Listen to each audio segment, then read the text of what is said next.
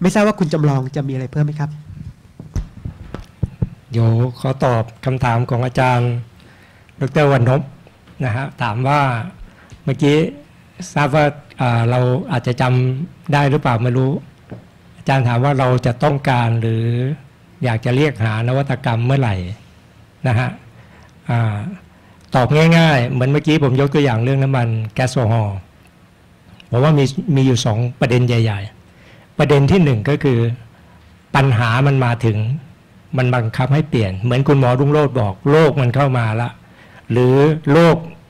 โรคกับโรคสองอย่างนะฮะมันก็มาบีบมันเข้ามาเรียกร้องเราก็ต้องเปลี่ยน กับอีกอันหนึ่งไอ้ตัวนี้เป็นตัวที่อยากจะคุย อยากจะแลกเปลี่ยนมากหน่อยหนึ่งก็คือเป็นส่วนที่เรียกว่าเราเลือกเอง เช่นวันนี้เนี่ยเราก็รู้ว่านวัตกรรมหลายอย่างมันไปจนสุด สุดท้ายมันต้องกลับ เช่นพวกยาต่างๆ มีอีกตัวหนึ่งที่ที่นึกขึ้นมาได้ จากงานวิจัยหรือจากสิ่งที่เป็นประเทศไทย แต่มันไปโตที่อื่น อย่างเช่นมันมียาปฏิชีวนะตัวหนึ่งชื่อไทยแลนด์ไทยแลนด์นี่มาจากจุลินทรีย์ในขยะบ้านเรา ในดินในขยะบ้านเราก็สุ่มเก็บแล้ว อเมริกาเอาไปค้นคว้าวิจัย ตัวนี้น่าจะ 20 กว่าปีแล้ว ร่ำรวยเป็นบริษัทที่อีไลลิลี่ค้นพบแล้วก็เอามาเติบโตในบ้านเรามาขายทั่วโลก ตัวนี้ก็เป็นตัวหนึ่งที่ยกตัวอย่าง คราวนี้ผมเมื่อกี้ได้เกิดนำว่ามันมันไปสุดแล้วมันก็ต้องกลับบางอย่างนี่แหละ เป็นตัวที่การที่เรามีงบประมาณ หรือเราตั้งใจหรือตั้งหน่วยงานนี้ไว้ในองค์กร มันจะทำให้เราเนี่ยรับรู้หรือเราสามารถรู้ว่ามันต้องเปลี่ยน เช่นผมยกตัวอย่างอย่างที่บริษัท เราก็จะเริ่มตั้งแล้วว่าในแต่ละบริษัท อย่างน้อยเราจะตัดงบประมาณ 5%ออกไปเพื่อไปเกิดการวิจัย แล้วงานที่จะวิจัยอย่างน้อยบริษัทหนึ่งจะต้องมีสองสองเรื่องต่อปี ในสองเรื่องนี้วิธีการมองก็ ง่ายๆสองอัน อันหนึ่งเป็นปัญหาแล้ว ก็ต้องเคลียร์เลย เพราะมันเป็นปัญหาแล้ว กับอันที่สองยังไม่เป็นปัญหา เพราะฉะนั้นยังไม่เป็นปัญหานี่ยากนิดหนึ่งต้องต้องอาศัยประสบการณ์กับอาศัยการที่อย่างคุณหมอลุงโรดบอก อาจจะต้องมีข้อมูลมีเซอร์เวยไปเก็บสถิติต่างๆมาแล้วเราก็มาดูแล้วก็มาเลือกพอเลือกเสร็จเราก็จะเอามาถ้าพูดถึงวันนี้เท่าที่นึกออกก็จะมีอาจารย์ในมหาลัย สวทช ก็มาหาลือมาถามผู้เชี่ยวชาญมาถามหานักวิจัย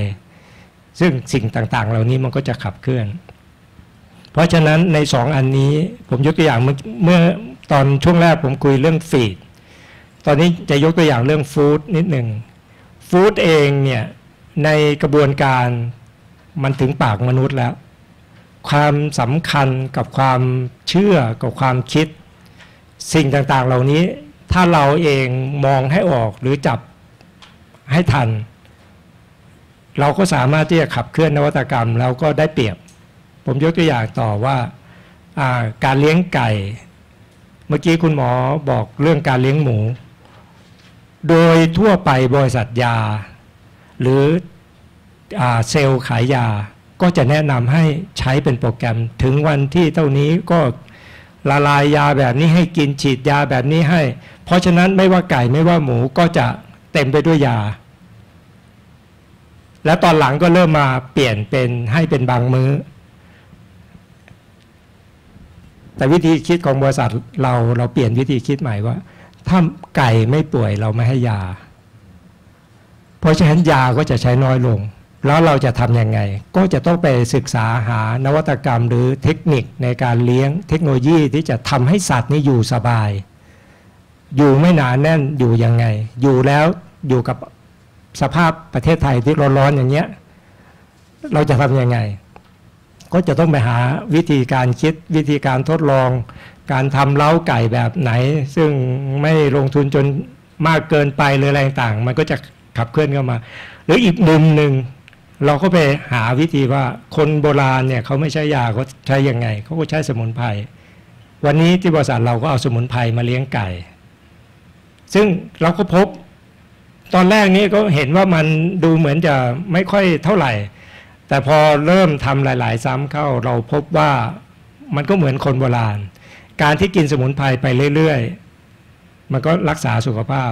ระบบขับถ่ายระบบหายใจสองอย่างนี้เป็นหลัก ๆ ง่าย ๆ ซึ่งไม่ต้องไปซื้อหายาไม่ต้องไปนำเข้าจากเมืองนอก เยอะแยะ ความเป็นอยู่ที่ดี เพราะฉะนั้นในเชิงแบบนี้ปั๊บเนื้อไก่ที่ออกมา มันก็จะเริ่มแตกต่าง เราก็พยายามจะวัดต่อว่ามันคือแตกต่างยังไง ก็ต้องมาหาที่สทชอีกเหมือนกัน วัดสภาพว่าเนื้อนี้มีคุณสมบัติอะไรต่างจากเนื้ออื่น เช่นไขมันน้อยกว่า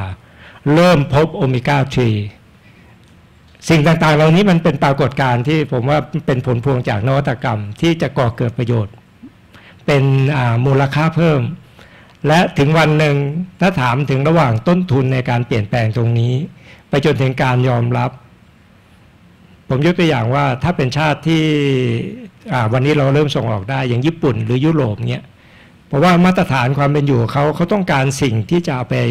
บริโภคที่ที่สูงกว่าระดับธรรมดา มันก็จะเริ่มมาคบเวอร์กับต้นทุนที่เราแพงขึ้น หรืออาจจะเป็นช่องทางของการขายที่เราสามารถขายได้แพงขึ้น สิ่งต่างๆเหล่านี้มันก็อยู่ที่ว่าปัญหามาถึงเราแล้วเราต้องเปลี่ยน หรือเราพยายามที่จะขับเคลื่อนเปลี่ยนไปก่อนงั้นถ้าถ้าตอบโจทย์ตรงนี้ตรงๆ เลยว่า ถ้าเราตั้งหลักที่จะเปลี่ยน แน่นอนที่สุดถึงเวลาที่ที่ถูกบังคับเปลี่ยนมันก็จะไม่มี เพราะว่าเราเปลี่ยนไปก่อนแล้ว เราเปลี่ยนไปเรื่อยๆ เรานำไปเรื่อย ๆ เหมือนยกตัวอย่างที่นักคิดหรือผู้ประสบความสำเร็จทั่วไปที่เราเห็นอย่างสตีฟจ็อบที่เขาบอกว่าถ้าเรารอให้ลูกค้าขอเนี่ยมันก็ช้าไปแล้ว เพราะฉะนั้นสิ่งนี้แหละครับที่ตอบอาจารย์มนพว่าถ้าพูดถึงว่าเราเนี่ยจะต้องเรียกหาหรือร้องหาหรือจะต้องเริ่มค้นคว้าเมื่อไหร่ ผมก็ขอตอบเป็นสองอย่างนี้ ส่วนที่อยากจะ คุยต่อในช่วงช่วงนี้ก็คือในหลักหรือว่าในแผ่นเมื่อกี้ของคุณหมอลุงโรดที่บอกเนี่ยก็ค่อนข้างครอบคลุมในชิ้นสุดท้ายครับอ่าแบบนี้แล้วครับ คือในความเป็นจริงผมก็เข้าใจในธรรมชาติของนักวิจัย แล้วก็ของผู้ลงทุนผู้ประกอบการ ต่างคนต่างก็หวังผล ต่างคนก็ต่างต้องการความสำเร็จ แต่มันจะมีส่วนที่จะเข้ามาเกี่ยวข้องได้หลากหลาย แต่ก็ขอให้ขับเคลื่อนไปก่อน คือถ้าเรารอจนมันเป็นแพทเทิร์นที่สำเร็จแล้วนี่ผมก็คิดว่าประเทศไทยเราล้าหลังแน่นอน แต่ถ้าเราคิดให้ให้ดีอย่างที่ผมบอกว่าเราแบ่ง 5%ของกำไรแล้วก็มามาใส่ลงไปตรงนี้ทำไปสิบเรื่องสำเร็จสักเรื่องหนึ่งผมว่า มหาศาล ทำไปร้อยเรื่องสำเร็จเรื่องหนึ่ง ผมก็ยังว่ามหาศาลเหมือนกัน ถ้าเราจดเพเทนได้ สิ่งต่างๆเหล่านี้แหละครับที่ผมมองว่าสำคัญ แต่เพียงแต่ว่าเราจะจูนขึ้นยังไง ให้นักวิจัยมีกำลังใจแล้วก็เข้าใจในสิ่งที่ควรจะเป็น หรือภาครัฐเองเนี่ยสามารถที่จะรับรู้หรือเริ่มเข้าใจสักเล็กน้อยว่าในความเป็นจริงเนี่ยการสนับสนุนหรือการที่จะ support ให้ทั้งนักวิจัยและผู้ประกอบการเนี่ยแล้วนำพาประเทศให้มีพัฒนาการของเรียกได้ว่าเป็นประเทศนวัตกรรม ก็คือทุกๆโปรเจกต์เนี่ยเราจะทำยังไงให้มันดันไปให้สุด ไปจนถึงจุดที่ใช้ได้ เหมือนเขาบอกว่าวันนี้ถ้าผมอยากจะได้เอนไซม์ตัวหนึ่งแมนแนนซึ่งบริษัทผมต้องใช้ปีหนึ่งร่วม 20 ล้าน ทั้งหมดทั้งบริษัทที่ต้องซื้อเอนไซม์ทั้งปีร่วม 40 ล้าน เราก็เลือกตัวหนึ่งตัวใหญ่สุด เอาแมนแนนมา แล้วก็บอกสเปคบอกบอกบอกไป แต่ต้นทุนที่ทำออกมาเนี่ยมันอาจจะยังไม่ตอบโจทย์ว่าซื้อเอาอาจจะถูกกว่า ซึ่งสิ่งแบบนี้แหละถ้าถ้าเรามีอีกหน่วยงานหนึ่งหรือมีอีกอีกอีกภาคีหนึ่งผมก็ไม่รู้ว่ามันคืออะไร แต่ก็มองว่ามันก็ต้องดันต่อไป เพราะถ้าดันไปจนถึงสุด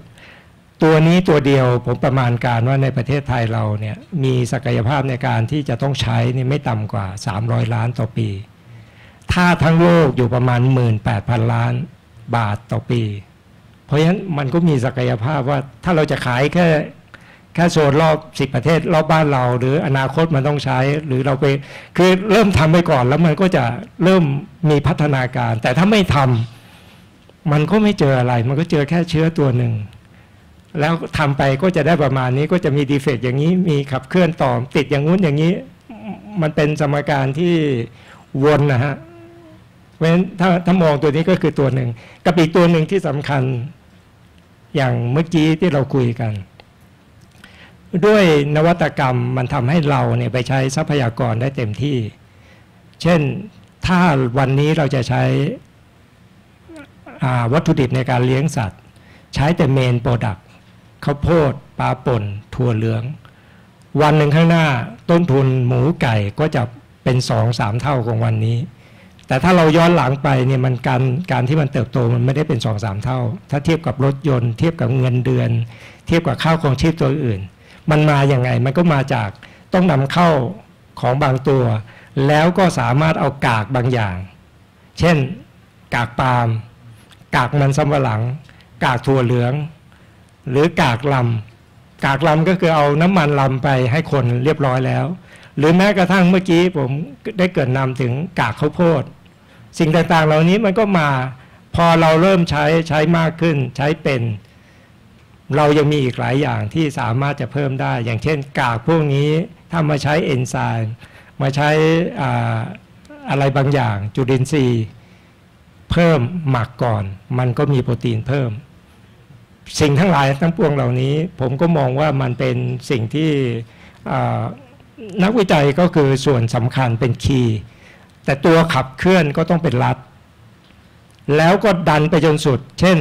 ผมเมื่อกี้ตอนที่นั่งพักรอได้ได้คุยกับอาจารย์ว่าอ่าบางครั้งเนี่ยเราก็ก็ก็ตลกกับกฎหมาย ผมยกตัวอย่างอันหนึ่งว่า วันนี้เรามีกฎหมายบ้านเราอยู่อันหนึ่งว่าอ่าทำสูตรอาหารสัตว์ จะต้องไปจดทะเบียน แล้วต้องกำหนดโปรตีน ซึ่งสูตรนี้จดมาผมว่าไม่ต่ำกว่า 40 ปี วันนี้เราสามารถที่จะลดระดับโปรตีน เพราะมันมีเอนไซม์มันมีจุลินทรีย์ มันมีโปรไบโอติกมีอะไรตั้งหลายอย่างที่เอามาใส่ลงไปแล้วสัตว์เนี่ยสามารถใช้วัตถุดิบตัวตัวที่โปรตีนต่ำกว่า ได้ถึง 5%แล้ว แต่กรมก็ยังบังคับว่าจะต้องจดตามนั้น สิ่งต่างๆเหล่านี้แหละครับคือคือกลไกอีกตัวหนึ่ง เพราะทันทีที่เป็นลดตรงนั้นได้เนี่ยโอกาสของผู้ประกอบการที่จะสามารถลดต้นทุนเซฟต้นทุนที่ไม่ต้องเอาไปให้เกิดเวสแล้วกลับมาเป็นงานวิจัยงานพัฒนางานขับเคลื่อนไปข้างหน้า ซึ่งการจดกฎหมายนั้น ฟังดูก็เหมือนกับนักวิชาการเขาก็พยายาม จะปกป้องผู้ผู้ผู้เป็นลูกค้า ผมก็บอกว่าถ้าสมมติว่าบริษัทบริษัทหนึ่ง ใส่ยี่ห้อลงไปแล้วเนี่ยแล้วมันกินไม่โตไม่ต้องไปห่วงหรอก บริษัทนี้ก็ขายไม่ได้เอง แต่ถ้าเขาใส่ไปแล้วเขาพิมพ์ยี่ห้อไปด้วยก็แปลว่าเขารับผิดชอบแล้วเพราะฉะนั้นเรื่องกฎหมายตรงนี้ น่าจะเปลี่ยนไปเหมือนเหมือนประเทศที่ที่เขาเจริญแล้ว มันก็จะช่วยได้เยอะ ราะฉะนั้นในวงจรหรือในวิธีการคิดในในส่วนสุดท้ายนะครับ ผมอยากจะบอกว่ามันก็คือนวัตกรรมตัวหนึ่ง ว่ามันจะต้องขับเคลื่อนให้ครบลูปครบวงจรแล้ว นักวิจัยเอ่ยผู้ประกอบการเอ่ยเดินในส่วนที่เห็นอารยประเทศที่เจริญ ว่าเขาเจริญจริงนั่นน่ะส่วน support เขาไม่ใช่มาเป็นตอนๆแต่เขามาเข้ามาเป็นวง ถ้าเราสามารถที่จะขับเคลื่อนหรือทำความเข้าใจ ก็ช่วยกันขับเคลื่อนหรือว่าร้องไปอย่างนี้เรื่อยๆแหละครับ มีเวทีไหนที่ไปคุยได้ ผมก็จะบอกแบบนี้เหมือนกันว่า มันบางอย่างมันล้าสมัยเราน่าจะเปลี่ยนได้ หรือแม้กระทั่งนักวิทยาศาสตร์ ในหลาย ๆ ที่เขาก็บอกว่าวันนี้การการกำหนดโปรตีนไม่ใช่สิ่งที่ถูกต้อง แต่ประเทศไทยก็ยังไม่แก้กฎนี้ ยกตัวอย่างนี้ครับว่า นวัตกรรมที่สุดแล้วก็คือ นวัตกรรมของความคิดด้วย ครับขอบคุณครับครับ ฝากเรื่องยากๆนะครับ พอพูดถึงภาครัฐไม่รู้ฝากใครนะครับ